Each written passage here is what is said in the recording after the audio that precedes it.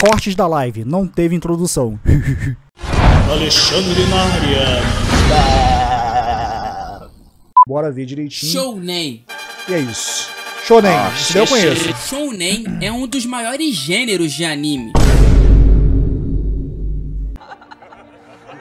necessariamente não seja um gênero propriamente dito, já que se traduzimos diretamente do japonês o termo shonen, encontraremos Ah. a palavra menino, o que significa que ele é apenas uma forma de classificar e dividir um grupo demográfico com maiores Ah. probabilidades de consumir os mangás das editoras japonesas. Hum. Embora o shounen seja tecnicamente voltado para meninos, com a popularização Meninos. dos animes, uma grande quantidade de pessoas fora dessa bolha também passaram a consumir esse tipo de anime, tornando quase inútil qualquer tentativa de diferenciá-los. Por exemplo, qual desses dois animes aqui você acha que é um shounen? Se a sua resposta for um anime que está com poderzinho aparecendo, você tá errado, Ah. porque o shonen na verdade é esse aqui. Tá Então, usar o termo shonen como um gênero pode parecer um pouco confuso para descrever os animes, mas obviamente Ah. os otakus ainda usam essa palavra para se referirem ao gênero. Então, para Ok. você não ficar muito perdido, eu categorizei os tipos de gêneros shonens para você compreender o que cada um deles significa. Os Beleza. shonen. Este é um gênero hypado que consiste no anime focar muito ou dar muita ênfase nas batalhas, geralmente com habilidades sobre-humanas, como My Hum. Isso Hero. Academia ou Naruto. O primeiro Battle Shonen de Isso muitas aí. pessoas que provavelmente popularizou o gênero é o Dragon Ball. Óbvio Dragon que Ball. Hum. existe outros animes shonens antes desses, mas provavelmente o Dragon Ball é o mais reconhecido pela grande Verdade, verdade, massa verdade. do público. Os É Dark verdade. Shonens, um subgênero em ascensão, onde o principal diferencial se dá nos temas mais profundos que são abordados, com uma maior atenção ao Abordados. psicológico. É Carioca, muito normal os animes igual a que focam nessa subcategoria apresentarem um excesso de conteúdos chocantes nas suas histórias. Alguns Hum. exemplos mais novos disso são Chainsaw Man e Jujutsu Kaisen, mas também temos animes mais antigos como Devilman, sim, Devilman. que é um shonen e tem conteúdo irmão. até demais. Shoujo é outro termo demográfico e não necessariamente um gênero. Traduzindo do Nihongo, teremos a palavra menina, ou seja, os animes shoujo são mais frequentemente Shoujo. direcionados Ah. a meninas mais jovens. Os Ok. temas das suas obras tendem a ser romances ou dramas, mas existe um grande É tipo as paradas que alguns dos bededos aqui estão me pedindo pra assistir os animes de romance, tá ligado? E eu tô gostando. subgênero que surgiu do shoujo, o gênero das garotas mágicas, o pique dos subgêneros. Mas não quer dizer que eu sou uma menina, caraca. Eu sou um homem macho, macho pra caraca, cheio de testosterona, tá ligado, meu parceiro? Eu posso gostar de romance também nessa merda, caraca. Romance na veia, merda. Aham. Neles Isso aí. nós temos meninas que se transformam em super-heroínas com poderes mágicos. Um dos primeiros exemplos de anime shoujo é a Marmelada Ah. Boy. Já o primeiro que é tecnicamente um anime de garota mágica é a Sailor Moon. No entanto, vale ressaltar que nem todos os animes de garotas mágicas são mágica. shoujo. Novamente, shoujo, Shoujo, é um nome shoujo. dado ao grupo demográfico e não um definidor de gênero. Outros animes Ok. shoujo incluem Sakura Card Captors Sakura Card e o velho Fruits Basket. Mas para Nunca ser ouvi falar. sincero, eu nunca fui um grande fã de shoujo de romance. A minha Ah. pira mesmo era em Sailor Moon e Sakura, já que eu quando era criança via muito esse tipo de anime e me amarrava. É, eu também via muito Sailor Moon torcendo pra que a saia. de- Eu já falei sobre isso, né? Você já sabe, né? Que, que a saia nunca levantava? Que droga. Como não assisto muito shoujo, eu não sou muito qualificado Hum. para falar sobre essa categoria. Assim como o shonen, o seinen não é um gênero, e sim um Seinen. grupo demográfico. Ele, Ah. traduzindo diretamente do japonês, significa adultos. Para ser mais específico, jovens adultos. Uma maneira fácil de saber se uma obra é seinen é você ver em qual revista ela está sendo publicada. Mesmo que esse gênero seja muito menos reconhecido pela maioria do grande público casual de anime, suas histórias lidam com temas mais sombrios, sérios e políticos. Exemplos disso são Vinland Saga, onde os temas de vingança, Saga. escravidão e autoconhecimento são proeminentes. Jousei é outro gênero demográfico nichado para mulheres mais velhas. Significa que a maioria dos animes Jousei são diretamente para De onde esse cara tirou essa, essa imagem dessa cor? Rapaz. Mulheres adultas. No entanto, como o shonen e o seinen, os limites entre o shoujo e os osei são muito confusos. Um exemplo disso é a obra Nana, ou Naná, que muitos podem considerar um josei, mas Nana é na verdade um anime shoujo, já que o seu mangá foi publicado em uma revista shoujo. Dito isso, eu não sou um grande apreciador de anime josei, então não posso de maneira alguma recomendar alguma obra desse tipo para vocês. Mecha, ou Mecha, é um Mecha. dos subgêneros mais Mecha. antigos da indústria, e seus animes se tratam de robôs gigantes. Um grande Uhum. motivo pelo qual ele se tornou tão popular são os brinquedos que eram comercializados para os cidadãos japoneses. Gundam mano. popularizou o gênero, Fala, trazendo um Gundam número é enorme brabo. de fãs de outras nações. E falando em Gundam, ele é um dos animes que mais contém temporadas e animes spin-offs, cara. Sério, Uhum. ele desde 79 continua tendo anime, cara. Eu recomendo pra cacete esse anime pra vocês. Porém, Eu já vi esse anime aí na época que passava. é, era a Band, se eu não me engano, que tinha aquele programa com aquela menina da. da, da é, a- a- Akira ou Kira? Eu esqueci o nome. Mas eu sei que tinha um momento desses que passava esse anime, tá ligado? E eu achava mó da hora, meu irmão. É. é Geralmente, assim, esses animes, tipo Evangelion, por exemplo. Eu- cara, se você for me perguntar sobre a história de. Caraca, meu filho chegou aqui, eu nem vi, mano. Olha só, esse garoto chegou igual um ninja. Que fofinho. Bom, voltando ao que eu tava falando aqui, se vocês forem me perguntar exatamente a história legal, assim, tipo, desmiuçar tintim por tintim da história de Evangelho, né, o Zen, Neo Gênesis Evangelion, eu mal vou saber explicar muita coisa, porque eu ia muito mais pra ver os- a luta lá do, do- dos robozão, tá ligado? Que eu achava mó da hora. Acho até hoje, tá ligado? E o Shinji, cara, é um merda. Porém, mesmo que essa categoria seja amplamente popular devido a seus fãs fervorosos Não, que não é, não e é. constroem gamplas, sua popularidade definitivamente diminuiu na última década. E muitos dos animes que antes tinham histórias muito bem desenvolvidas com tons mais filosóficos viram um amontoado de fanservice chechelento. Se você quiser mesmo boas recomendações de obras mecha, eu recomendaria você assistir os animes mais antigos, que até hoje possuem uma ótima animação. É bom deixar claro aqui que ainda existe bons animes mecha. Sci-fi é um gênero de anime com forte ênfase no uso da tecnologia ou elementos futuristas, e é significativamente diferente da ficção ocidental. A ficção científica costumava ser um gênero muito popular em animes no fim do século passado. Code Geass já vi já. A era de ouro da ficção científica nos animes já passou, o que significa que muitos fãs que iniciam hoje no mundo da animação japonesa não olham com bons olhos para os novos animes que saem. Na verdade, eles nem veem anime sci-fi para ser bem sincero, mas também olha essa merda, né, menor? Se compararmos com Ghost in the Shell, Cowboy Bebop, Cowboy Akira, Bebop. Evangelion. Len, Trigun e Alita, os de hoje em dia, mesmo Esse com não toda a tecnologia, não chegam nem perto, seja pela falta de investimento ou de ambição. É importante notar que mesmo Não, cara, mas assim, é, é impressionante é que esses animes mais antigos, eles tinham um nível de fluidez que a gente não consegue ver nos animes de hoje. E animes simples, tá?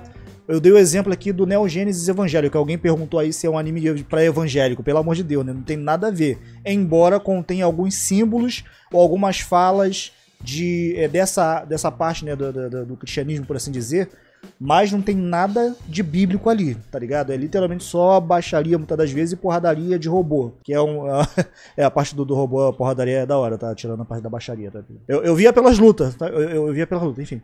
Mas, tipo, é, o nível de fluidez dos animes dessa época, o, o, o Evangelho é um exemplo que eu- do que eu vou falar agora, é um anime antigo de certa forma. Mano, você fica tipo, caraca, meu irmão, como é que os caras não conseguem fazer isso hoje? É, há exemplo, por exemplo, de um, um anime que eu até curto, até hoje. Do, vou falar dois, que são de luta, no caso, né? Ou, ou seria o Shonen, no caso. Ou, mas sei, enfim.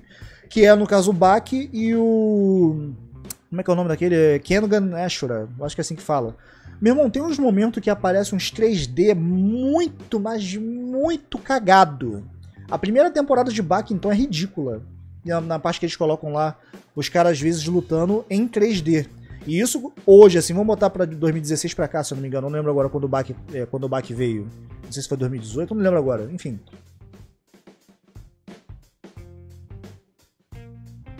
Aí tu vai pra um anime de 1990, caraca, o nível de detalhe de- da tecnologia do robô brigando.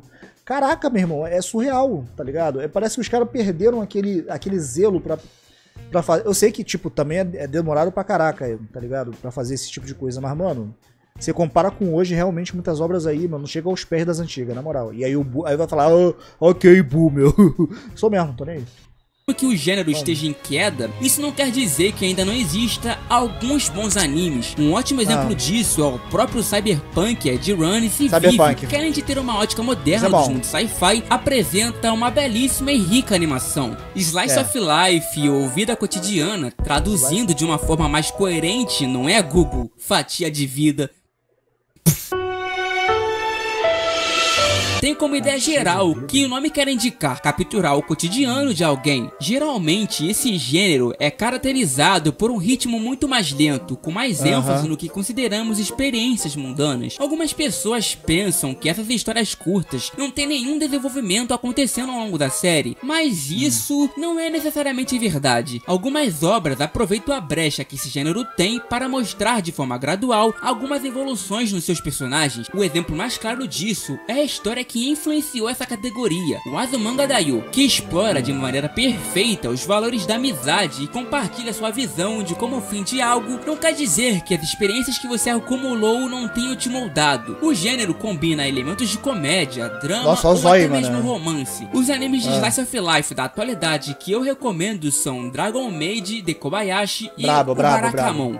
Animes Nunca de vi. Ah. comédia têm como objetivo fazer você rir. Mas geralmente, dependendo do anime, ele não te faz rir. Mas é importante lembrar que, como espectadores, perdemos muito dos contextos quando o anime é traduzido. Ainda mais Ah. com essa legenda porca da Crunchyroll que não faz o mínimo esforço de explicar a piada. Coisas que de 10 anos atrás já faziam. Muitas das vezes, o humor japonês depende fortemente do jogo de palavras para que sua comédia funcione. É tipo a piada do fish. Ball e Cat. Falado rápido, tá ligado? Isso é uma coisa que só o público brasileiro vai achar graça. Por conta disso, Nem. muitos desses animes acabam passando por despercebido. Outra reclamação que eu vejo muito na bolha otaku sobre o gênero é que ele depende fortemente de uma única piada para fazer graça. Mas isso Ah. nem sempre é algo ruim. Um ótimo exemplo de um anime que foca apenas em uma única piada é One Punch Man. Existe também outras comédias mais extrapoladas como Gran Blue ou Nichijou que não depende de uma única Gran piada. Mas essas são apenas exceções do gênero. Romance é outro gênero controverso, porque muitas das vezes os seus animes levam muito tempo para que realmente aconteça algo em seus relacionamentos. Mas isso pode ser atribuído a diferenças culturais nos programas orientais. O gênero romance japonês não é necessariamente sobre o relacionamento romântico de duas pessoas, mas sim se a construção do seu relacionamento irá resistir ao teste do tempo. Por esse motivo, os animes de romance são frequentemente sobre o seu relacionamento vai acontecer. Muitas pessoas não gostam que os animes de romance demoram muito para reunir os personagens principais, ou que usem clichês de que alguma pessoa não viu a confissão, o que eu também acho um pouco frustrante, mas não tem o que ai. fazer.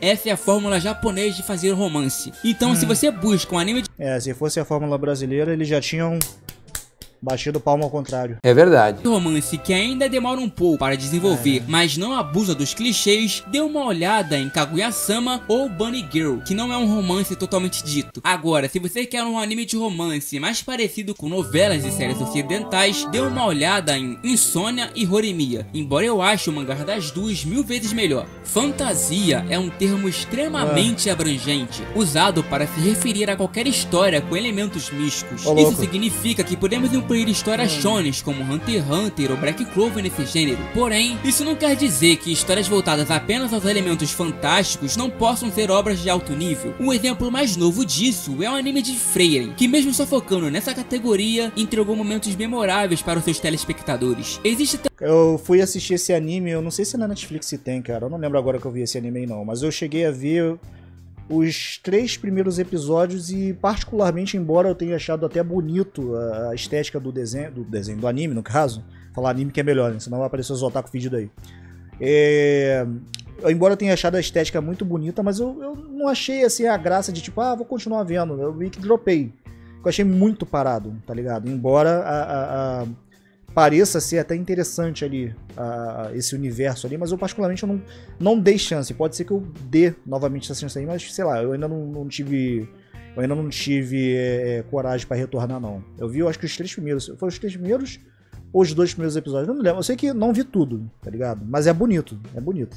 Também uma parcela de mundos fantasiosos com tons mais sérios e sombrios, como Claymore e Berserk. Porém, fantasia não se limita a mundos medievais, já que momentos históricos japoneses também possuem criações com esses elementos. Exemplos disso seriam o Demon Slayer e o Cabaneri. Porém, eles são bem raros de aparecerem, já que esse gênero bebe muito dos trabalhos do Tolkien, que para muitos é o pai das histórias de fantasia do mundo medieval, com sua maior Ah. criação sendo o Senhor dos Anéis. A fantasia geralmente se inspira em uma série de coisas, então, em certo sentido, você pode dizer que a fantasia é um dos maiores gêneros de animes como um todo. Porém, se eu fosse recomendar algum anime de fantasia, provavelmente seria o Made in Bass, já que ele tenta criar um mundo realmente diferente. Os animes esportivos, junto com sci-fi, são os gêneros mais antigos e duradouros da indústria nipônica. Geralmente, eles retratam uma equipe esportiva de uma escola ou faculdade numa jornada até ganhar o nacional. Se eu fosse apontar uma obra que foi o pontapé inicial para esse gênero, eu colocaria em um pedestal muito alto mesmo as séries Slandunk e Asta no Joy. O mangá de Slandunk sozinho, cara, aumentou a popularidade do Caraca, basquete mano. em todo o Japão. Fora que tem muitas coisas icônicas que acontecem no anime que as pessoas copiam até hoje. E também temos o nosso queridíssimo Ashita no Joy, que sozinho consegue Nunca ser vi. amplamente reverenciado em várias obras. Todas as duas são amplamente bem conceituadas e mencionadas até os dias de hoje. Mas Nunca é bom vi, eu só vi o terceiro que os lugar. exemplos vistos nesse vídeo são animes mais realistas. É importante Hum. notar que existe também animes esportivos mais realistas, onde os personagens beiram a linha do inacreditável. Se você quiser um bom anime moderno, onde os personagens são praticamente sobre-humanos, eu recomendaria o Blue Lock, Blue Lock, embora Blue eu é ache o mangá melhor pessoalmente. Eti é uma gíria da língua japonesa, que tem mais de um significado, Ih, podendo ter contextos rapaz. diferentes dependendo da situação. Assim como Ah. ele pode ser um adjetivo que significa libidinoso, safado, travesso, ele também pode ser um verbo que significa fazer coito. Enfim, este como um gênero Oh, é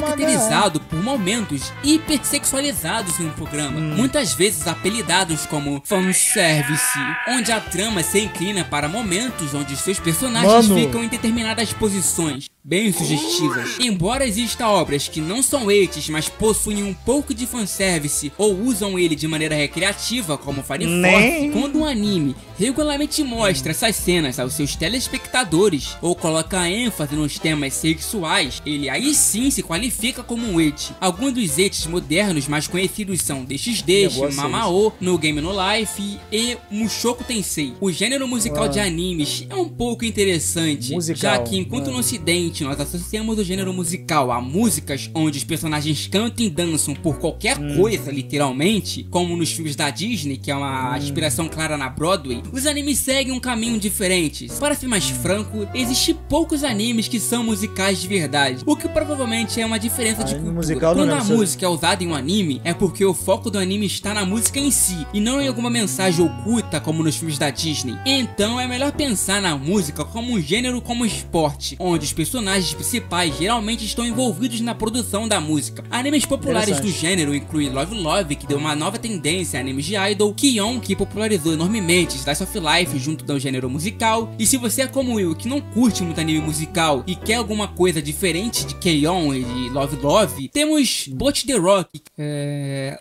Hentai. Assim como o eti é apenas uma expressão que tem outro significado nas terras nipônicas, sendo utilizada para descrever pessoas pervertidas ou conteúdo sexual muito extremo. Na Terra do Sol Nascente, o termo mais utilizado para se referir a essa mídia são as palavras ero ou senji. Diferente de todos os gêneros listados nesse vídeo, essa é de longe a categoria que mais possui subgêneros nos animes, já que ela Oh. atende praticamente a qualquer Mano. fetiche que o ser humano pode ter. Ô, até os mais repugnantes. E falando na palavra hentai, é bem provável que essa expressão ficou muito popular aqui no ocidente por conta Ah. do forchan, o que acabou na construção cultural da maneira errada de se referir a esse gênero. De certa forma, essa categoria é muito mal vista pelos fãs de animes, já que muitas das suas obras são exemplos claros de peças mal animadas com rape gratuito. Mas mesmo que muitas pessoas achem que os animes hentais sejam um sucesso comercial, na realidade são muitas poucas obras que realmente conseguem Ai, pagar suas produções. Oi. Oi, meu filho. Eu quero sair com vocês. Você falou lá com a mamãe, meu filho? Fala lá com a mamãe, eu tô ocupado agora, bebê. Ai, meu Deus do céu. Ai, ai, ai, meu filho tá pedindo pra sair aqui. Animes como Boku no Pico, Overflow, aquele da vampira lá, são alguns exemplos de obras que furam a bolha e são amplamente conhecidas pelos fãs mais normais de anime. Porém, a era de ouro dos gentais, com animações mais detalhadas e histórias mais profundas, entre muitas aspas, já passou há muito tempo, tá ligado, cara? A época 2000 foi o auge desse hum. gênero, até porque foi uma época que o Japão ficou mais rebelde. Para tu ter noção, até Fate ah. nessa época tinha cenas eróticas. Atualmente, as produções desse tipo de anime oh, são, na grande maioria, um amontoado de cenas estáticas com histórias de NTR. Yaoi provavelmente é o ah. gênero com o fandom mais odiado da indústria. As fujushis principalmente fanfiqueiras, essas são as piores. Resumindo, Boys Love ou Yaoi são basicamente obras onde o foco principal são na demonstração do relacionamento de homens bonitos em situações que eles precisam provar o seu amor. O gênero sempre mistura elementos de romance, drama e às vezes psicológicos para criar histórias mais intrigantes e molhadas para as pequenas garotas que assistem essa porra. Eu sinceramente nunca vi nenhum anime BL em si.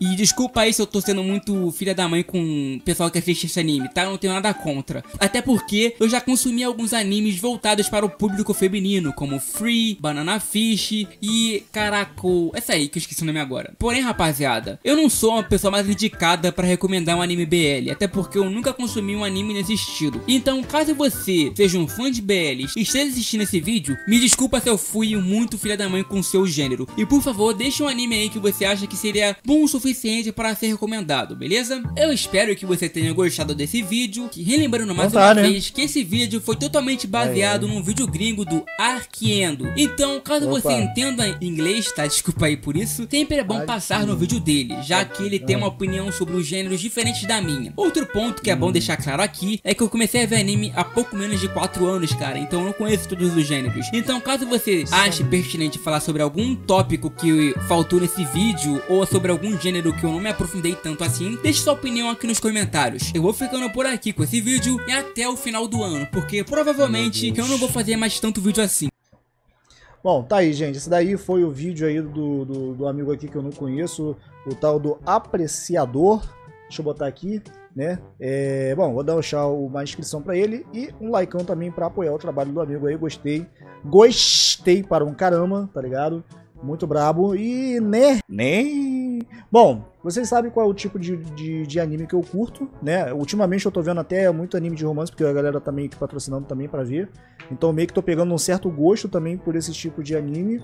Desde que, tipo, ele não seja aquela coisa muito arrastada, tá ligado? Quando é uma parada muito arrastada, eu até vejo Acho, assim, às vezes fico até com sono, sendo bem honesto. Mas é, tem, tem sido animes que até são animes bons, porque são mais pé no chão, por assim dizer. Mas eu, eu confesso que eu gosto mais daqueles que tem muita comédia, tá ligado? Na, na, parte de romance. Mas o que eu geralmente curto pra caraca mesmo é shounen, tá ligado? Porradaria, estancada, tá ligado? Aquela parada de tipo, tu dá um soco na cara do cara e a cara dele vira do avesso pro outro lado. É mais ou menos assim, tá ligado?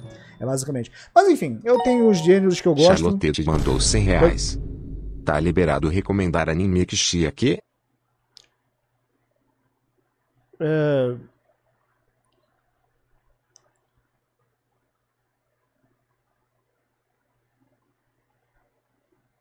É...